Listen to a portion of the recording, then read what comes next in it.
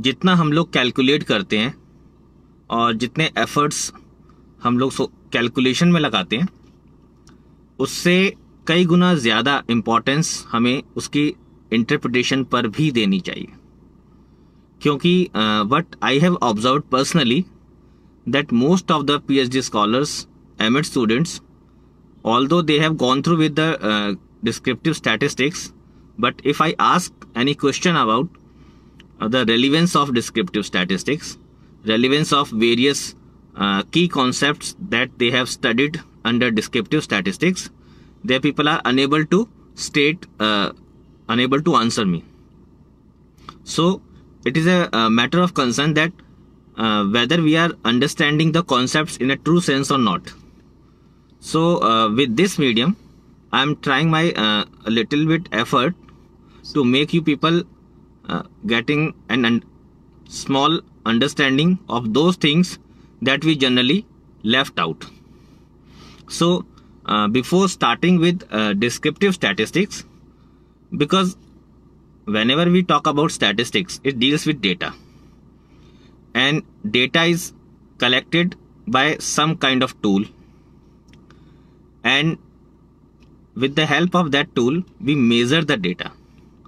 But there is another thing that we have to keep in mind along with tools and data, which is scales of measurement that we should always keep in mind that what are those scales of measurement because everything is measured in some kind of scale. So uh, once we are very much clear about scales of measurement then only we can understand other uh, basics of statistics so let us start with uh, scales of measurement. Broadly speaking there are four scales of measurement. One is nominal scale second is ordinal scale third is interval scale and fourth is ratio scale.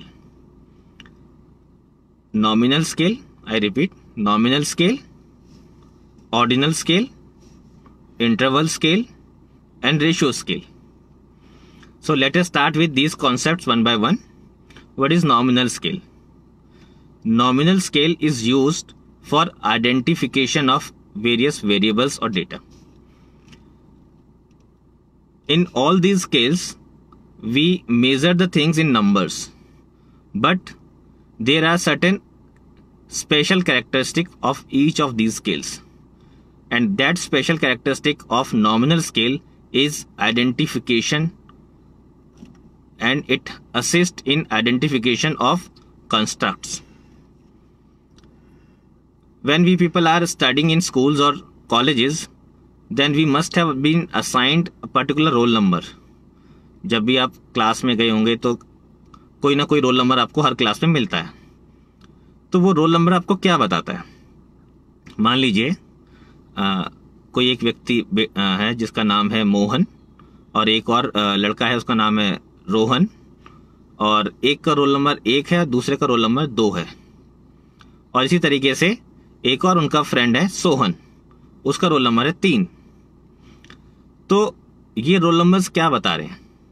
ये roll numbers एक identification दे रहे हैं। अगर मोहन का roll number एक है, रोहन का रोल नंबर दो है, सोहन का रोल नंबर तीन है, इन तीनों रोल नंबर्स से हम ये नहीं कह सकते कि मोहन फ़र्स्ट प्लेस पे आया है और रोहन सेकंड प्लेस पर आया है सोहन थर्ड प्लेस पर आया है। Whether I am talking about roll number one whether I am talking about roll number two whether I am talking about roll number three all these three are having equal meaning to me because a particular number is identifying a particular person as a teacher मेरे लिए एक roll number का मतलब एक student so so, ये जो roll numbers मैंने assign किए हैं ये रोल नंबर्स मुझे क्या हेल्प कर रहे हैं? ये रोल नंबर्स मुझे आइडेंटिफिकेशन ऑफ़ स्टूडेंट्स में हेल्प कर रहे हैं। सिमिलरली आपने फुटबॉल टीम के प्लेयर्स देखे होंगे, वो पर्टिकुलर नंबर की जर्सी पहन के खेलते हैं। क्रिकेट टीम के प्लेयर्स हैं, वो भी पर्टिकुलर नंबर की जर्सी पहन के खेलते हैं। तो ये जो नंबर्स उनको असाइन होते हैं, ये नंबर्स एक आइडेंटिफिकेशन का रोल प्ले करते हैं। आप इन नंबर्स को ऐड नहीं कर सकते, इन नंबर्स को सीक्वेंस में नहीं लगा सकते। और ना ही आप अगर किसी पर्स, इन नंबर्स में सब, हर नंबर की वैल्यू इक्वल होती है। फॉर एग्ज़ाम्पल अगर कोई खिलाड़ी ज़ीरो नंबर की जर्सी पहन के खेल रहा है it doesn't mean that he doesn't exist zero is also having some value so this is all about nominal scale hopefully आपको समझ में आया होगा। Then we talk about ordinal scale ordinal scale use for ordering the things means sequencing the things जब आपको किसी भी प्रकार के आंकड़ों को एक क्रम में लगाने की आवश्यकता पड़ती है, एक सीक्वेंस में प्लेस करने की आवश्यकता पड़ती है, उस स्थिति में आप ऑर्डिनल स्केल का प्रयोग करते हैं। और ये अधिकतर उन स्थितियों में होता है जहाँ पर यूटि किसी भी चीज़ को कंज्यूम करने की से मिलने वाली सेटिस्फेक्शन की बात कर रहे हैं। किसी को ऑब्ज़र्व करने से जो उसकी आप एस्थेटिक सेंस को ऑब्ज़र्व कर रहे हैं उसको अगर आप आ, एक सीक्वेंस में लगाना चाहते हैं तो फॉर एग्ज़ाम्पल आपके घर के पास मान लीजिए आप जहाँ से भी कपड़े खरीदते हैं चार पाँच दुकानें होंगी तो आपने एक पर्टिकुलर नंबर एक रैंक दे रखा होगा कि सबसे बढ़िया कपड़े कहाँ मिलते हैं तो रैंक वन आपने उसको वहाँ दे दी। दूसरे नंबर पर कहाँ मिलेंगे? फिर उसको रैंक टू दे दी। Similarly rank three rank four इसी तरीके से अगर आप आ, कहीं बाहर खाना खाने जाते हैं तो वहाँ पे रेस्टोरेंट्स को अपना रैंक दे रखी होगी कि कहाँ पर आपको ज़्यादा अच्छा खाना लगता है तो वहाँ पे रैंक वन या इस तरीके से। सो so, जब भी आप इस तरीके से रैंक्स देते हैं और रैंक्स असाइन करते हैं तो वहाँ पर हम लोग second scale of measurement use कर रहे होते हैं जिसको हम लोग बोलते हैं ऑर्डिनल स्केल इसकी जो खास बात होती है ये आइडेंटिफिकेशन के साथ साथ डेटा को सीक्वेंसिंग में भी असिस्ट करता है। बट इसकी लिमिटेशन इसकी लिमिटेशन जो नॉमिनल में थी उसके इस, वो इसमें भी है कि अगर आपने किसी भी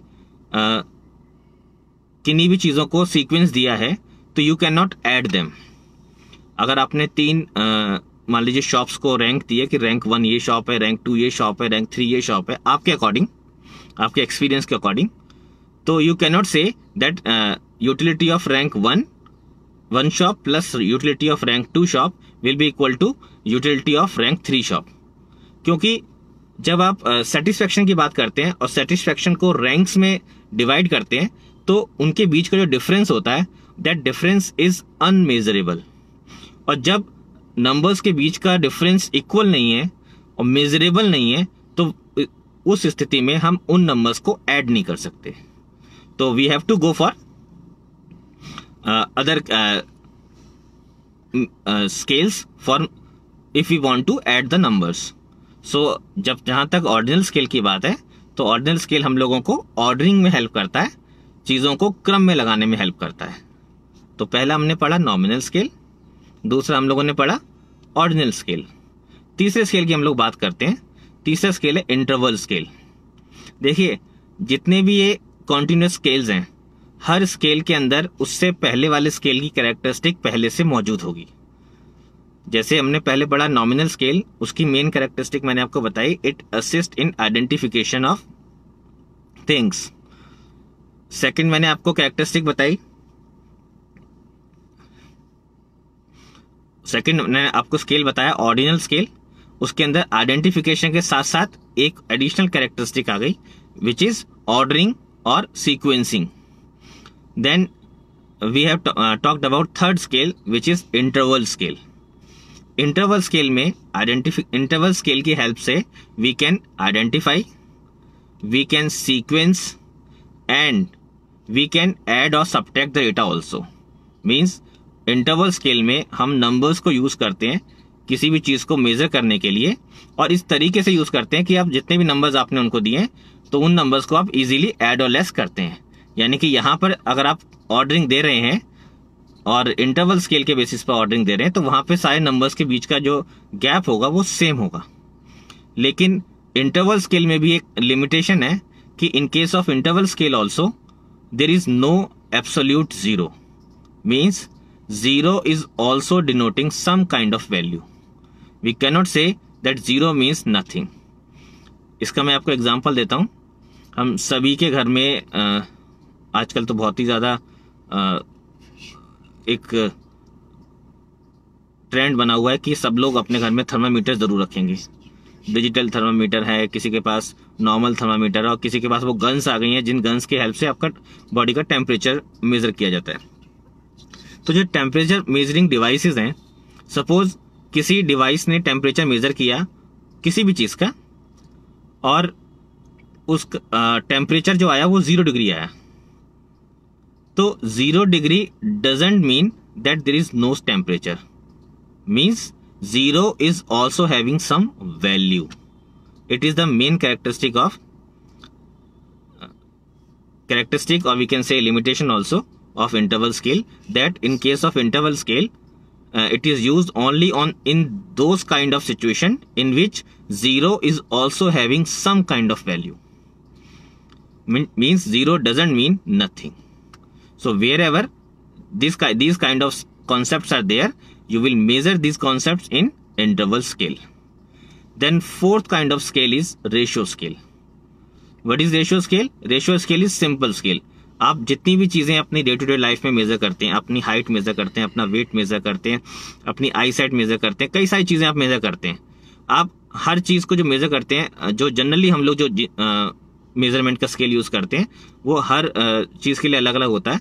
तो वहाँ पर zero means zero means in case of ratio scale, there are four characteristics. One is, it is used in identification, just like uh, uh, nominal scale. Second is it can be used in ordering or sequencing the things just like ordinal scale. Third is we can add or subtract the numbers uh, just like interval scale.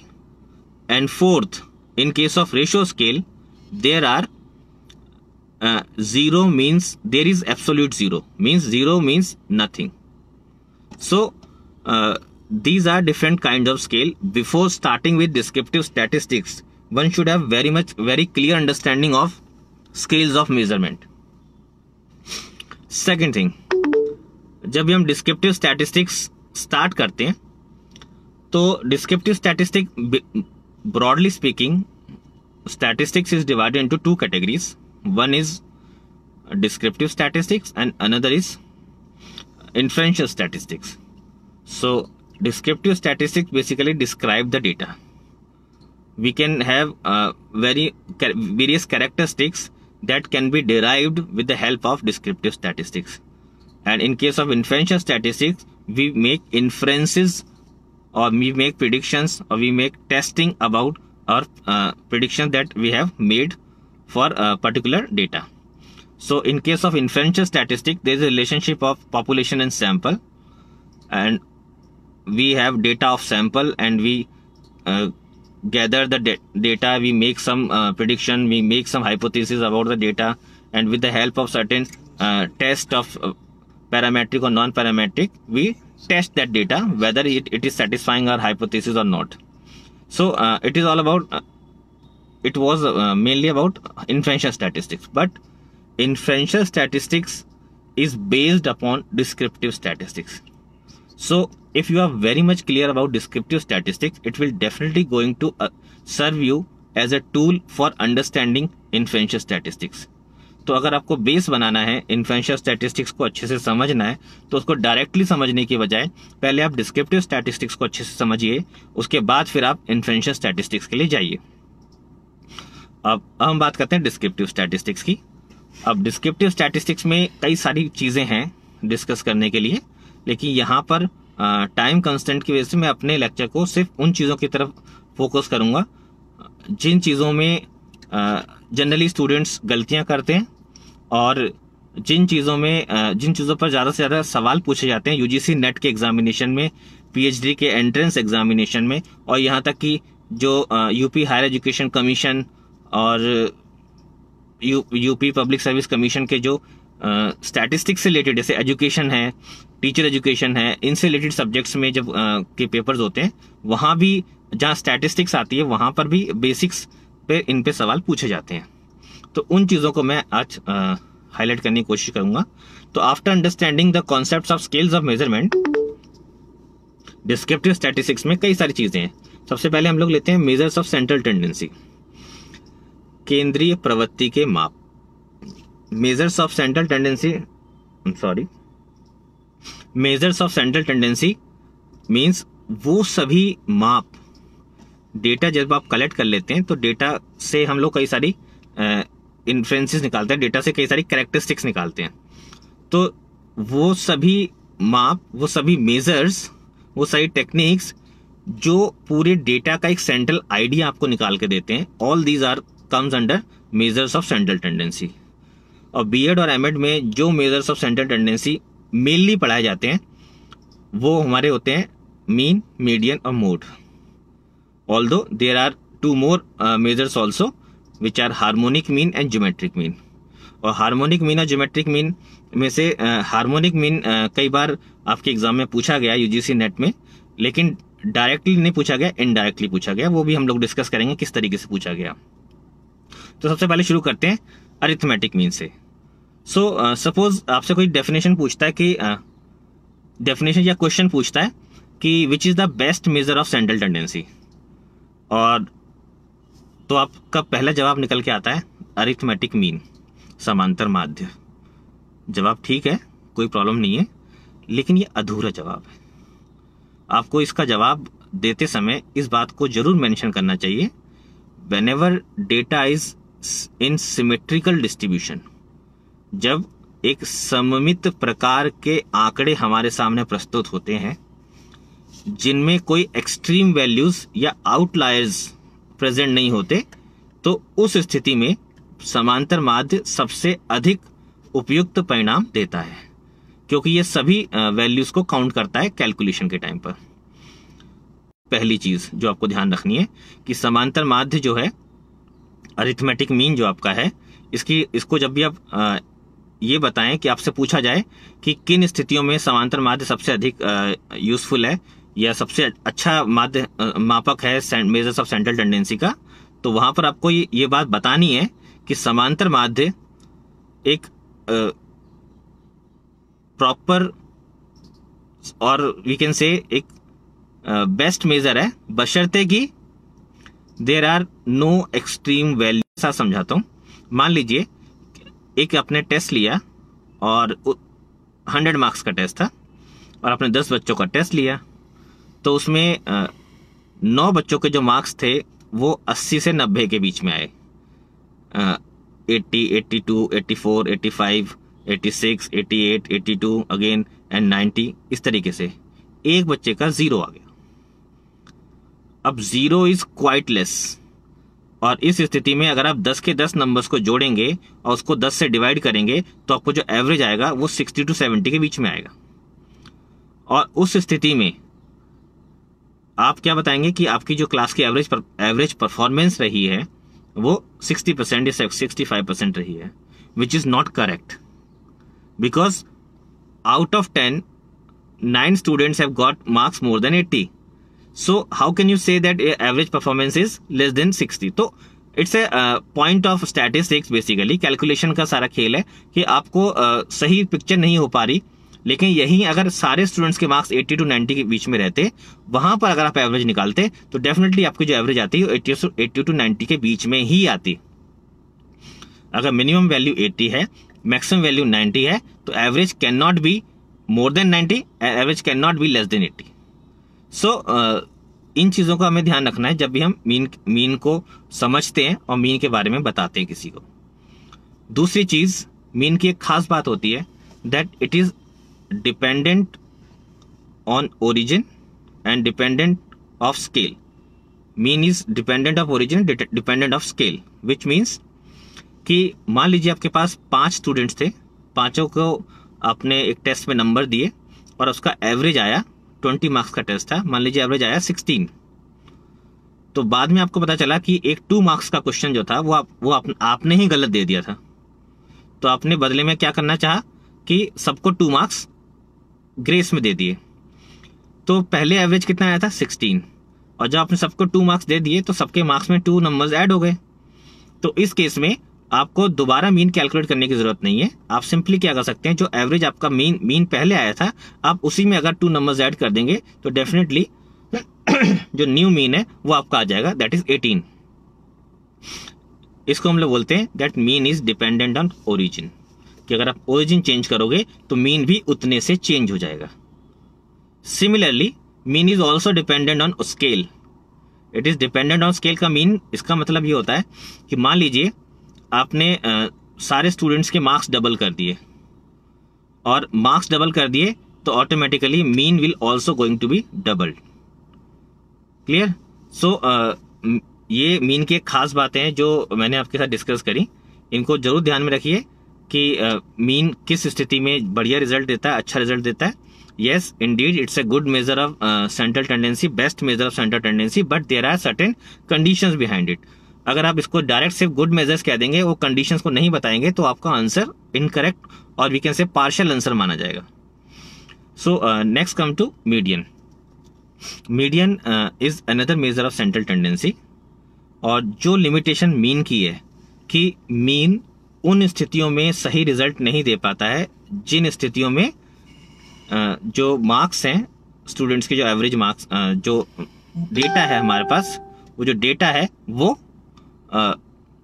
उसमें outliers है। Outliers means the numbers the data which is beyond इधर on the higher side on the और on the lower side ठीक है? तो अगर बहुत lower side में बहुत कम वैल्यूज़ या हायर साइड में हायर साइड वाली कोई वैल्यू अगर आप, आपको डेटा में इंक्लूड कर दी गई है, यानी कि आपकी, आपके पास जो डेटा है उसमें एक्सट्रीम वैल्यूज़ भी इंक्लूड कर दी गई हैं।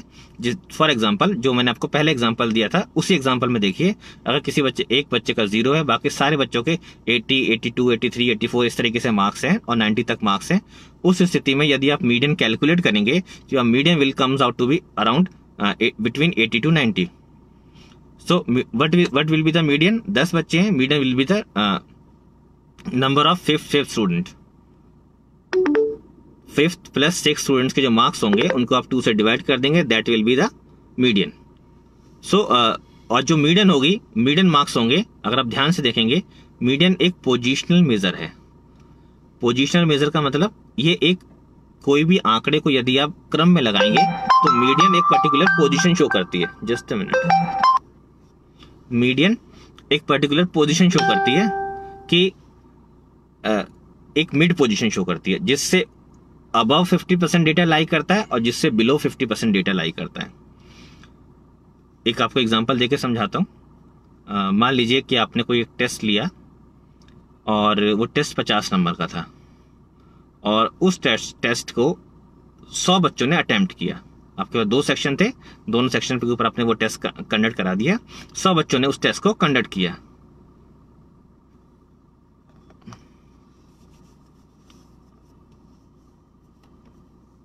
Okay someone is watching i think at least someone is uh, there to uh, listen my views because i was thinking ki nobody is uh, listen, uh, viewing my uh, video so what I was thinking yes so मान लीजिए आपके आपने पचास number का test लिया और आपकी class में सौ बच्चे थे और उसके बाद जब आपने उनको इवेल्युएट कर लिया इवेल्युएट करने के बाद आपने मीडियन कैलकुलेट किया तो मीडियन आपका आया थर्टी सेवन तो thirty what does this thirty seven indicate this is the most important thing what does this thirty seven indicate calculation आज की डेट में अगर आपको कैलकुलेशन करनी है तो आपके पास एम एस एक्सएल है, आपके पास टाटा है, आपके पास एस पी एस एस है they are number of software but interpretation आपको खुद ही करनी पड़ेगी. तो इंटरप्रिटेशन समझना बहुत ज़रूरी है। तो what does this thirty seven indicate so how many students were you are having you are having hundred students और कितने मार्क्स का टेस्ट था? फिफ्टी मार्क्स का टेस्ट था। और मीडियन कितनी आई? थर्टी सेवन आई। इसका मतलब है कि out of hundred students fifty students have got marks more than thirty seven and fifty students have got marks less than thirty seven median shows the mid position of the distribution क्योंकि median calculate करते समय पहली condition है कि आपको data को एक increasing order में प्लेस करना पड़ेगा। तो जब उसको आप प्लेस कर देते हैं तो उसके बाद एग्जैक्ट मिड पोजिशन मीडियन आपको शो करता है। उसके बाद हम लोग आते हैं जो अदर पोजिशनल मेजर्स हैं जो मीडियन के साथ हम लोग पढ़ते हैं।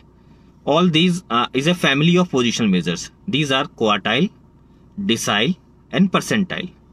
इसको हिंदी में चतुर्थक दशमक और शतमक या शतांक के नाम से जाना जाता है। और इंग्लिश में इसको decile quartile decile and percentile के नाम से कहा जाता है। तो अगर हम क्वार्टाइल की इंटरप्रिटेशन की बात करें तो quartile they are Q one Q two Q three and Q four so Q one quartile word is derive from quarter so quarter means twenty five percent तो Q one shows a particular number below which 25% of the observation lies and above which 75% of the observation lies. Similarly, Q2. Q2, what will the Q2 shows? Q1 plus Q2. Q1 shows 25%. Q again next quarter will again show uh, 25%. Or when we add them together, we will get what will we will get? We will get median. So Q2 is nothing but the another name of median. Then we comes to uh, Q3. Q3 shows a particular number below which 75% of the observation lies and above which 25% of the uh, 25 observation lies. So similarly, there are deciles D1, D2, D3, D4, D5 and D6 and D10 till D10. So suppose we want to uh, interpret D7. So what does uh, a particular D7 shows? D7 shows a particular number below which 70% of the observation lies and above which 30% of the observation lies. What does D10 shows? D10 shows a particular number above which there are no further any number. And all the numbers are below them below it. All the numbers are below it. Means indirectly it shows the highest number which the person is getting. And it it uh, it can also be represented by hundredth percentile. So next is percentile. Uh, another positional measure a percentile uh, again percentile shows a particular position. Suppose uh, uh, in an mba examination uh, mba entrance examination the result is declared in percentile. CAT का जो examination होता है even जो FMS का examination होता है दिल्ली में वो परसेंटाइल के फॉर्म में आपका रिज़ल्ट शो करते हैं तो जो परसेंटाइल में मान लीजिए आपका अगर नाइन्टी टू परसेंटाइल आया तो इट डजेंट मीन कि आपने ninety two percent marks secure किए हैं it simply means that if ten lakh students have appeared in the examination तो out of those ten lakh students 92% students have secured marks less than you and 8% students have secured marks more than you.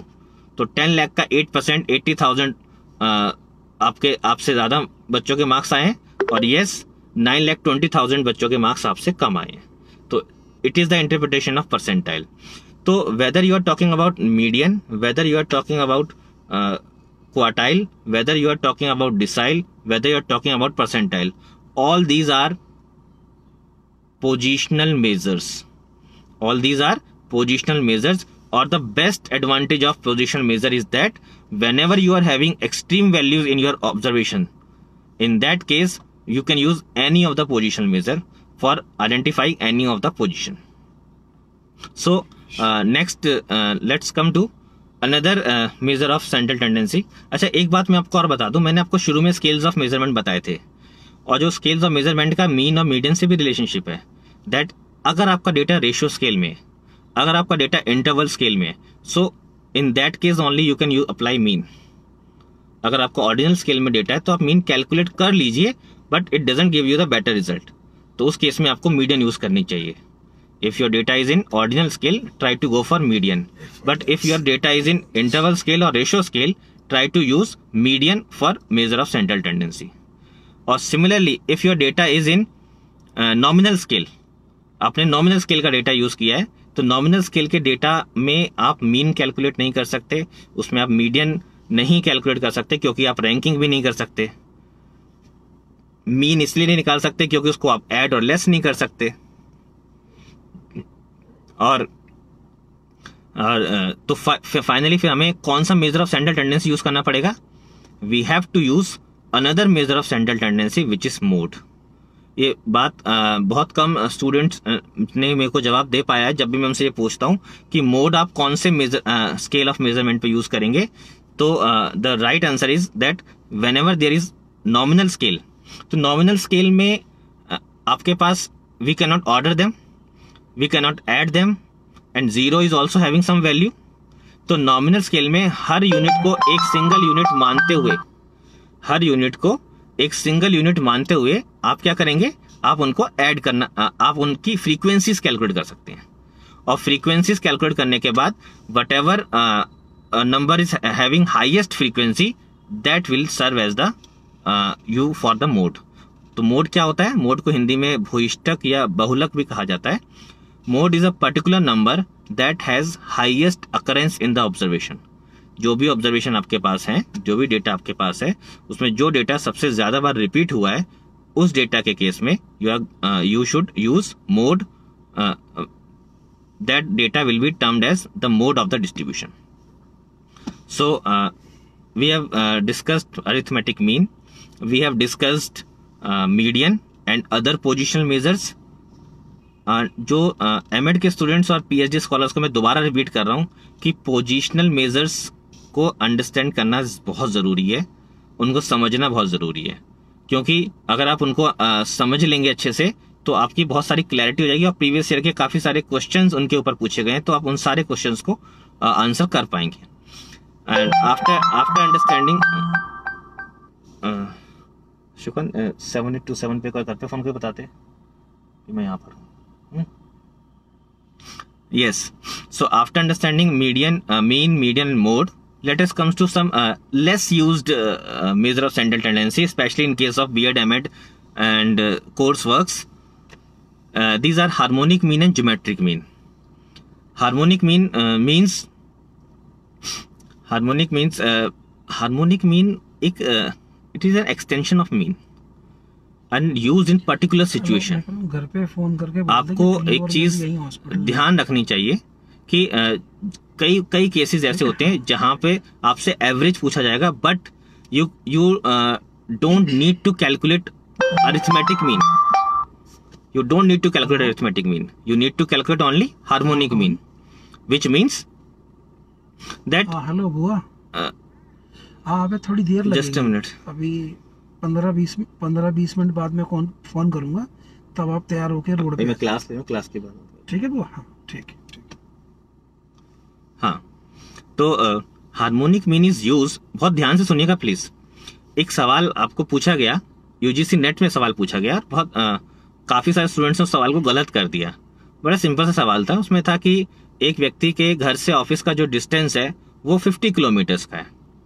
एक दिन उसने उसी distance को 40 kilometer per hours पे की speed से तय किया। दूसरे दिन उसने उसी डिस्टेंस को 50 किलोमीटर पर आवर की स्पीड से तय किया और तीसरे दिन उसने उसी डिस्टेंस को 50 किलोमीटर पर आवर की स्पीड से 60 किलोमीटर पर आवर की स्पीड से तय किया। तो what will what would be the average speed of that person अब एवरेज स्पीड कैलकुलेट करने के लिए सारे स्टूडेंट्स ने क्या किया? 40 बहुत आसान सवाल आ गया। 40 plus fifty plus sixty divided by three fifty kilometre per hour और ये एवरेज स्पीड सबने आंसर तुरंत निकाल के दे दिया। But they forget that the data is not in a single unit यहाँ पे जो आपको स्पीड की एवरेज निकालनी है स्पीड एक सिंगल यूनिट का डेटा नहीं है। स्पीड एक रिलेटिव टर्म है। देखिए स्पीड हमेशा किलोमीटर पर आर में गिवन होती है। तो जब भी इस तरह का डेटा आपको होता है, जैसे kilometre per hour percentage per annum and rupees per K G so these are the different data having different units so इस तरह से अगर आपका कभी भी डेटा गिवन होता है तो उस केस में एवरेज कैलकुलेट करने के लिए rather than using arithmetic mean you should go for harmonic mean और एक और तरीका इस तरह के डेटा को सॉल्व करने का ये होता है कि इस डेटा को आप सिंगल यूनिट में पहले चेंज कर लें। और मैं दोनों आपको एग्ज़ाम्पल के साथ समझाऊँगा। पहले पहला मैं आपको बताता हूँ कि इसमें हम अरिथमेटिक मीन डायरेक्ट कैसे यूज़ करेंगे। अरिथमेटिक मीन बड़ा ही सिंपल होता है। अरिथमेटिक मीन में हम लोग क्या करते हैं, जितनी भी ऑब्जर्वेशन होती हैं, सारी ऑब्जर्वेशन को रिवर्स करते हैं और नंबर ऑफ़ ऑब्जर्वेशन से उसको डिवाइड कर देते हैं। जैसे मैंने जो आपको एग्ज़ाम्पल दिया, उसमें जो ऑब्जर्वेशन मैंने आपको दी, वो तीन स्पीड दी थी। तो एन इज़ थ्री और जो आपकी जितने भी डेटा है, वो स्पीड का डेटा उसको आप एक्स मानेंगे तो one by forty one by plus one by fifty plus one by sixty आप क्या करेंगे? N divided by one by forty plus one by fifty plus one by sixty तो इसको जब आप सॉल्व कर लेंगे you will get directly get the harmonic mean और एवरेज ऑफ़ द डेटा और इसका जो डायरेक्ट मेथड है वो ये है अगर आप इसमें आ, इसको डायरेक्टली सॉल्व करना चाहते हैं तो उसका तरीका बड़ा सिंपल सा है कि तीन दिन में उसने टोटल डिस्टेंस कितना कवर किया? 50 plus fifty plus fifty means 150 kilometres और तीन दिन में उसने टोटल टाइम कितना कंज्यूम किया? और तीनों दिन में आप पहले दिन 40 किलोमीटर पर आर की स्पीड से आप टाइम निकाल लीजिए, दूसरे दिन आप 50 किलोमीटर पर आर की स्पीड से टाइम निकाल लीजिए, और तीसरे दिन आप सिक्सटी किलोमीटर पर आर की स्पीड से टाइम निकाल लीजिए। आपके पास टोटल डिस्टेंस आ गया, आपके पास टोटल टाइम आ गया। डिस्टेंस भी एक सिंगल यूनिट है टाइम भी एक सिंगल यूनिट है you can easily calculate speed ठीक so in that case we can easily calculate average speed जो भी आपकी एवरेज स्पीड आएगी that is the real answer so harmonic mean में और अरिथमेटिक मीन में डिफरेंस करना बहुत ज़रूरी है। मान लीजिए एक सिंपल सा एग्जांपल आपसे पूछ लिया गया कि एक दिन मैंने आजकल आम बहुत चल रहे हैं। एक दिन आम आपको पचास रुपए किलो मिले तो आपने दो किलो आम खरीद लिए। एक, एक दिन आपने आ, आ, एक दिन आम आपको साठ रुपए किलो मिले एक दिन आम आम आपको अस्सी रुपए किलो मिले। और तीनों दिन के आपका एवरेज प्राइस आपसे पूछा जा रहा है। तीनों दिन का एवरेज प्राइस निकालने के लिए आपको क्या करना पड़ेगा? इस इस केस में जो मैंगो का प्राइस है वो रुपीज़ पर केजी में गिवन है। Again not a single unit तो you should go for harmonic mean instead of arithmetic mean so try to observe these things कि हार्मोनिक मीन कहाँ पर यूज़ होता है। बहुत इंपॉर्टेंट है। और आपसे अलग से नहीं पूछा जाएगा, आपसे सिर्फ़ ये पूछा जाएगा कि एवरेज निकालिए। तो अब एवरेज निकालने के लिए आप जनरली मैक्सिमम स्टूडेंट्स जिनको हार्मोनिक मीन की नॉलेज नहीं होती what they do they go directly straight away go for arithmetic mean uh, try to understand uh, these concept also. Then there is another measure of central tendency which is geometric mean. And geometric mean का मैं आपको सिर्फ़ use बताऊँगा क्योंकि geometric mean arithmetic mean से better result दे सकता है कुछ सिचुएशन में। और वो सिचुएशंस होती हैं if there is geometric progression in the data data इस तरीके का है जो कॉन्टिन्यूस इंक्रीज पे इंक्रीज हो रहा है, या कॉन्टिन्यूसली डिक्रीज पर डिक्रीज होता चला जा रहा है, जैसे कि स्टॉक एक्सचेंजेस के डेटा होते हैं। तो उन ज्योमेट्रिकल प्रोग्रेशन जो होती हैं, उनके अंदर अगर आपको एवरेज कैलकुलेट करना होता है तो वहाँ पर एवरेज कैलकुलेट करने के लिए, क्योंकि बड़ा एक्सपोनेंशियली इंक्रीज हो रहा होता है डेटा तो वहाँ पर आप अगर आप सिंपल एवरेज से निकालेंगे तो you might commit any mistake तो उस केस में हम लोग सिंपल एवरेज की जगह पर ज्योमेट्रिक मीन यूज़ करते हैं। और ज्योमेट्रिक मीन के फॉर्मूले बिल्कुल वैसे हैं जैसे आपका अरिथमेटिक मीन के फॉर्मूले हैं। सिर्फ़ आपको एंटीलॉग और लॉग जैसे अगर आपको मैं इंडिविजुअल सीरीज़ का फॉर्मूला बताऊँ अरिथमेटिक मीन का तो it is nothing but sigma X divided by N X is number of observation X is total total sigma X is total of all the observation and N is the number of all observation तो जब आप इस तरीके से निकालते हैं तो ये आपका क्या निकलता है? अरिथमेटिक मीन तो इसी केस में अगर आपको ज्योमेट्रिक मीन का फॉर्मूला बनाना है तो उसमें आप क्या लिखेंगे? पहले एंटी लॉग लिखेंगे ब्रैकेट स्टार्ट करेंगे, फिर log sigma log X divided by N तो जो भी एक्स की वैल्यूज़ हैं, सबको पहले लॉग में कन्वर्ट करेंगे टोटल करेंगे तो सिग्मा लॉग एक्स आ जाएगा, उसको आप एन से डिवाइड करेंगे, और एन से डिवाइड करने के बाद जो वैल्यू आएगी, उस वैल्यू का आप एंटी लॉग ले लेंगे एंटी लॉग लेने के बाद जो आपके पास वैल्यू आएगी that is basically geometric mean तो कैलकुलेशन ज्योमेट्रिक मीन की बहुत आसान है। सिर्फ़ आपको लॉग और एंटी लॉग लेना आना आना चाहिए और आपके पास डेटा होना चाहिए जिस जिस डेटा का आपको कैलकुलेशन करनी है। So these were different measures of central tendency जिसमें uh, मैक्सिमम स्टूडेंट कहीं कहीं छोटी छोटी मिस्टेक्स कर देते हैं। तो कहाँ कहाँ मिस्टेक करते हैं वो मैंने आपको समझाया और uh, कैसे इनको यूज़ करना चाहिए वो मैंने आपको समझाने की कोशिश की। Then after measures of central tendency let's comes to measures of dispersion measures of dispersion को हम लोग मेजर्स ऑफ़ वेरिएबिलिटी भी कहते हैं। सॉरी मेजर्स ऑफ़ वेरिएबिलिटी भी कहते हैं। और ये मेजर जितने भी हैं, जैसे आप मीन मीडियन मोड निकालते हैं वैसे ही मेजर्स ऑफ़ डिस्पर्शन में भी आप range quartile deviation mean deviation coefficient of variation ये सारी चीज़ें निकालते हैं। लेकिन अगर उसको थोड़ा सा सिस्टमेटिकली हम लोग पढ़ें तो सबसे पहले तो हमें ये पढ़ना बहुत ज़रूरी है कि मेजर्स ऑफ़ डिस्पर्शन होते क्या हैं और ये क्यों uh, क्या शो करते हैं। तो जितने भी मेजर्स ऑफ़ डिस्पर्शन की टेक्निक्स हैं वो सारी की सारी जो भी आपके पास डेटा गिवन है उस डेटा के अंदर फ्लक्चुएशंस कितनी ज़्यादा हैं उन सारी फ्लक्चुएशन को शो करती हैं। फ्लक्चुएशंस का मतलब डेविएशंस कितने ज़्यादा उस डेटा के अंदर? कितना परिवर्तनशीलता है? इसलिए इनको परिवर्तनशीलता का माप भी कहते हैं।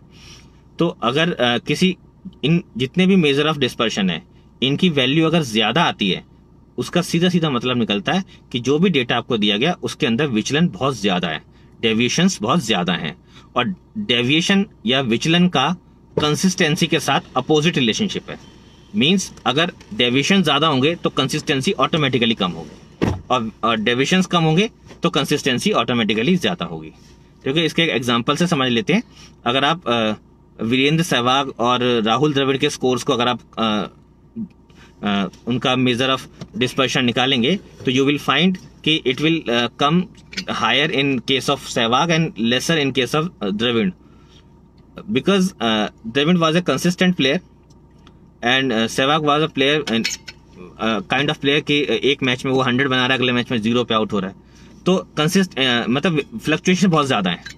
तो फ्लक्चुएशन ज़्यादा है और ये तो मेजर फ्लक्चुएशंस को ही मेजर कर रहे हैं। तो इट मींस इनकी वैल्यू भी ज़्यादा आएगी।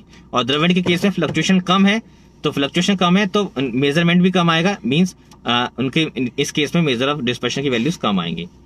तो पहली चीज़ जो आपको समझ में आनी चाहिए कि जितने भी मेजर्स ऑफ़ डिस्पर्शन है, वो क्या, उनकी वैल्यू अगर ज़्यादा होगी तो वो वेरिएबिलिटी ज़्यादा शो कर रहे हैं और कंसिस्टेंसी को कम शो कर रहे हैं।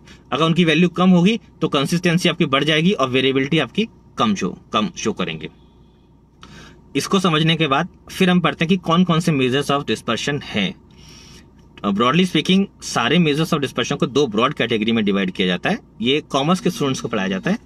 और इकोनॉमिक्स वालों को पढ़ाया जाता है। एजुकेशन वालों को इस तरीके से डिस्ट्रीब्यूशन नहीं बताया बताया जाता। लेकिन तब भी वो समझना चाहिए कि सारे मेजर्स को दो ब्रॉड कैटेगरी में डिवाइड किया जाता है। पहली कैटेगरी जो है वो है आपकी absolute measures and second category is relative measures absolute measures and relative measures और अगर एब्सोल्यूट मेजर्स की बात करते हैं तो उसके अंदर हमारे पास आता है range number two inter quartile range number three average deviation number four standard deviation sorry number three quartile deviation number four average deviation number five standard deviation and number six variance और जब हम बात करते हैं relative uh, measures की तो relative measures के case में हमारे पास आता है coefficient of range coefficient of quartile deviation coefficient of average deviation and coefficient of mean coefficient of of so अगर हम दोनों को क्लब कर दें तो एक सवाल बहुत बार पूछा गया है कि which of the measures of dispersion is the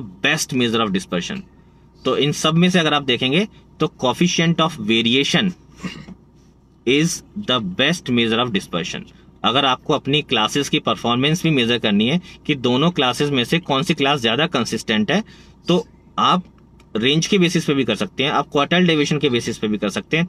आप इंटर क्वार्टाइल रेंज के बेसिस पे भी कर सकते हैं। Average deviation standard deviation variance सबके बेसिस पर आप कंपैरिजन कर सकते हैं। But best comparison will be on the basis of measures measure of variation coefficient of variation coefficient of variation मान लीजिए आपके, आप दो क्लासेस को पढ़ाते हैं। आपने एक टेस्ट लिया, दोनों क्लासेस में लिया, वो टेस्ट और आप ये जानना चाहते हैं कि दोनों क्लासेस में से कौन सी क्लास ज़्यादा कंसिस्टेंट है तो उस केस में जो बेस्ट मेजर होगा that will be coefficient of variation और बहुत आसान है। स्टैंडर्ड डेविएशन आप कैलकुलेट करना जानते ही हैं, और मीन आपको कैलकुलेट करना आता ही है तो आपको क्या करना है? इन दोनों का रेशियो निकालना है। Standard deviation divided by mean multiplied by hundred और जितने भी कॉफिशियंट्स मैंने आपको बताए, सारे कॉफिशियंट्स की वैल्यू ज़ीरो से वन के बीच में लाई करेगी। अगर परसेंटेज में कन्वर्ट करेंगे तो ज़ीरो परसेंट से हंड्रेड परसेंट के बीच में लाई करेगी। तो इस चीज़ को अगर आप ध्यान रखेंगे तो कभी इसका फॉर्मूला नहीं भूलेंगे। क्योंकि स्टैंडर्ड डेविएशन की वैल्यू हमेशा कम आती है मीन की वैल्यू हमेशा ज़्यादा आती है।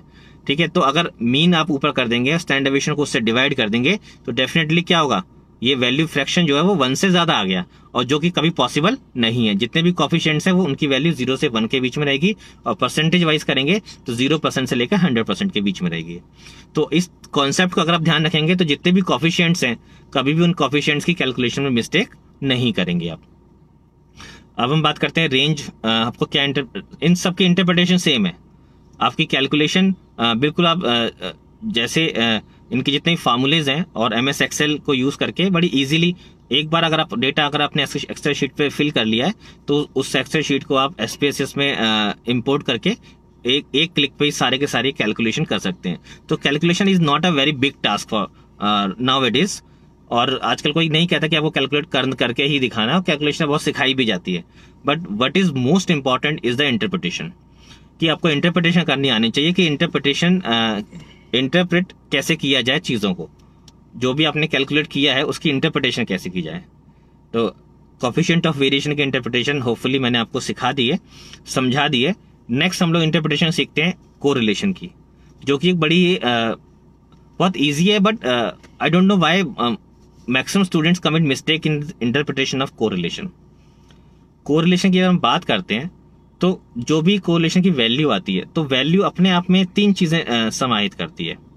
पहली चीज़ वैल्यू का साइज़ क्या है? आपको पता होना चाहिए कि कोरिलेशन की जो वैल्यू है, वो माइनस वन से प्लस वन के बीच में लाई करती है।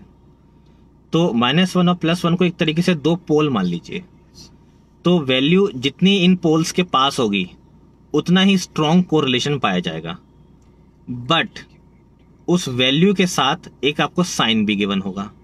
तो साइन डायरेक्शन शो करेगा। I repeat value magnitude show करेगी यानी कि स्ट्रेंथ शो करेगी और वैल्यू के साथ जो साइन लगा होगा, वो डायरेक्शन शो करेगा कि कोरिलेशन का डायरेक्शन किस तरफ़ है, उसकी डिग्री किस तरफ़ है। और इन दोनों को अगर आप ध्यान रखेंगे तो कोरिलेशन की इंटरप्रिटेशन बड़े आराम से कर लेंगे।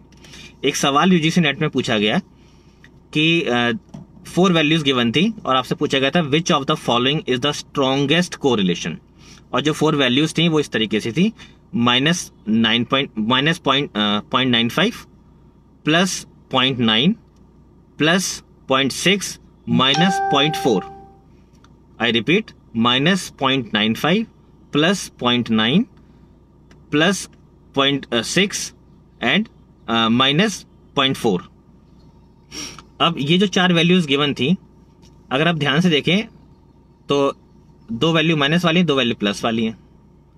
और आपसे सवाल में कहीं नहीं पूछा गया कि पॉजिटिव कोलेशन नेगेटिव कोलेशन आपसे सिर्फ़ इतना पूछा गया है which of the following shows the strongest correlation अब जब बात स्ट्रॉन्गेस्ट की आती है तो मैंने आपको पहले ही बताया कि जो माइनस वन और प्लस वन है, ये दोनों एक पोल की तरह काम करते हैं। कोई भी वैल्यू कोरिलेशन की इन दोनों पोल्स के जितनी ज़्यादा पास होगी, समझ लीजिए वो वैल्यू उसका मैग्नीट्यूड उसकी स्ट्रेंथ उतनी ही ज़्यादा है।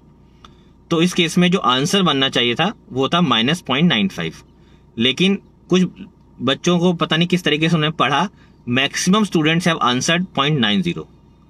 और पॉइंट नाइन ज़ीरो आंसर करने के बाद फिर यूजीसी को चैलेंज भी कर रहे हैं कि आ, ये जो हमारा आंसर है वो ठीक है और आपने आंसर की में दिया वो गलत है। अब इन इस तरह के क्वेश्चन के लिए क्लैरिफिकेशन यूजीसी नहीं दे पाएगी क्योंकि यहाँ पर हमारा खुद का ही कॉन्सेप्ट गड़बड़ है। तो अगर आप कॉन्सेप्चुअल चीज़, तरीके से चीज़ों को अंडरस्टैंड करेंगे, उसको समझने की कोशिश करेंगे तो डिस्क्रिप्टिव स्टैटिस्टिक बहुत ही इंटरेस्टिंग है। और इसको जितना ज़्यादा समझेंगे, जितना ज़्यादा अपने लाइफ में ऑब्ज़र्व करेंगे, और इसकी इंटरप्रिटेशन को पे ऊपर जितना ज़्यादा आप काम करेंगे तो आप ऑटोमेटिकली अपने आप को तैयार करेंगे इन्फ्लुएंशियल स्टैटिस्टिक्स को समझने के लिए। क्योंकि कोई भी इन्फ्लुएंशियल स्टैटिस्टिक्स बिना डिस्क्रिप्टिव स्टैटिस्टिक्स के कंप्लीट नहीं होती है। तो try to understand descriptive statistics in the correct sense तो कोरिलेशन की मैं बात कर रहा था आपको कि कोरिलेशन के एक uh, uh, की जो वैल्यू है वो आपको क्या शो करती है। कोरिलेशन माइनस वन से प्लस वन के बीच में लाई करता है। माइनस वन से प्लस वन के बीच में लाई करता है नंबर वन दूसरी चीज़ कोरिलेशन के जो साइन होता है वो साइन डायरेक्शन शो करता है। अगर कोरिलेशन माइनस में आया है कोरिलेशन प्लस में आया है तो माइनस और plus is also having some significance अगर कोरिलेशन आपका माइनस आया है इट मीन्स जिन वेरिएबल्स के बीच में आपने कोरिलेशन कैलकुलेट किया है, उन वेरिएबल्स के बीच में इनवर्स रिलेशनशिप है। एक वेरिएबल बढ़ रहा है और एक वेरिएबल घट रहा है। और अगर कोरिलेशन की वैल्यू प्लस में आती है तो इसका मतलब जो भी दो वेरिएबल आपने लिए हैं, उन वेरिएबल्स के बीच में पॉजिटिव रिलेशनशिप है डायरेक्ट रिलेशनशिप है, दोनों वेरिएबल एक ही डायरेक्शन में मूव कर रहे हैं। या तो एक साथ घट रहे हैं या एक साथ बढ़ रहे हैं। और अगेन कितना कितना साथ साथ चल रहे हैं और कितना इनवर्स चल रहे हैं, ये इस बात पर डिपेंड करता है कि उनकी वैल्यूज़ कितनी है। माइनस वन और प्लस वन के कितनी ज़्यादा पास है। अगर एग्जैक्ट माइनस वन हो गया तो डायरेक्ट प्रोपोर्शनेट हो जाएगा इनवर्सली और अगर प्लस वन हो जाएगा तो डायरेक्ट प्रोपोर्शनेट हो जाएगा पॉजिटिव मैनर्स में यानी कि डायरेक्ट सेंस में हो जाएगा। ठीक है? तो कोरिलेशन का जो साइन है वो आपको बहुत सारी चीज़ें बताता है तो उसको आपको ध्यान में रखना चाहिए। क्लियर तो हाँ, कोलेशन का साइन हो गया कोलेशन की वैल्यू हो गई। इसके साथ साथ आपको एक और चीज़ याद रखनी है अगर कोलेशन प्लस वन आ गया तो इट अगर उसको ग्राफ पे प्लॉट करेंगे उन दो वैल्यूज़ को तो उन वैल्यूज़ को हाँ, प्लॉट करने के बाद आपको एक एक डायरेक्ट लाइन बने मिलेगी जो कि जिसका स्लोप पॉजिटिव होगा। और अगर आप कोलेशन की वैल्यू माइनस वन आएँगे माइनस वन होगी और उन वैल्यूज़ को अगर आप एक्स और वाई की वैल्यूज़ को ग्राफ पे प्लॉट करेंगे then you will get straight line और जिसमें आपकी जो वैल्यूज़ होंगी वो कैसी होंगी? स्ट्रेट लाइन होगी और जिसका स्लोप नेगेटिव होगा। तो कोरिलेशन में साइन बहुत मैटर करता है वैल्यू बहुत मैटर करती है कोरिलेशन का अमाउंट बहुत मैटर करता है। और एक खास बात और सबसे इंपॉर्टेंट बात कोरिलेशन के बारे में मैं बताना चाहूँगा कि कई सारे स्टूडेंट्स कोरिलेशन के बेसिस पर ही ये डिसाइड कर लेते हैं कि ये वेरिएबल इंडिपेंडेंट है ये वेरिएबल डिपेंडेंट है। जबकि कोरिलेशन की सबसे बड़ी लिमिटेशन है that it shows only the degree of relationship it और direction of relationship it cannot interpret the cause and effect relationship यानी कि कौन सा कॉज है कौन सा इफ़ेक्ट है uh, उस वो इस रिलेशनशिप को कॉफिशियंट ऑफ़ कोरिलेशन नहीं शो कर सकता। तो uh, सब डिस्कशन जो हमने करी डिस्क्रिप्टिव स्टैटिस्टिक्स की और स्केल्स ऑफ़ मेज़रमेंट की होपफुली कि जितने भी बी एड एम एड और पीएचडी स्कॉलर्स हैं, वो उसको बहुत ध्यान में रखेंगे और अच्छी किताबों से उसको पढ़कर उसको रिपीट करने की कोशिश करेंगे एनालाइज करने की कोशिश करेंगे। और अगर आपके क्वेश्चंस होंगे तो कमेंट बॉक्स पे ज़रूर डालिएगा। I will try to answer all of them और अभी मैं actually I am in in hospital और अपनी फ्रेंड की मदर को लेकर आया हूँ हॉस्पिटल में। तो but I cannot miss my class तो अपनी गाड़ी से ही मैं क्लास ले रहा हूँ। So thank you so much for patient listening and अगर मुझे आगे मौका मिलेगा तो डेफिनेटली मैं आगे भी इसी तरह के कुछ और टॉपिक्स लेकर आऊँगा और जो कि एम एड और बी एड एम एड और पी एच डी स्कॉलर्स के लिए काफ़ी यूजफुल टॉपिक्स होंगे। और इन जनरल भी I always try to take those topics which are quite useful in general also so thank you so much hopefully you have it. And but uh, I, t- I i can tell myself that i a lot. For teaching. First time i'm teaching in my car. So thank you so much uh, for patient listening. Thank you so much